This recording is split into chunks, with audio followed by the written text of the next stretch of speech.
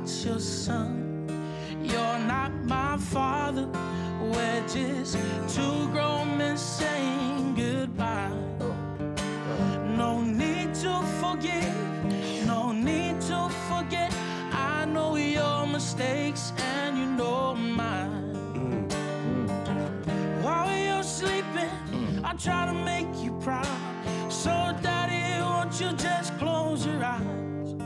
Don't be afraid.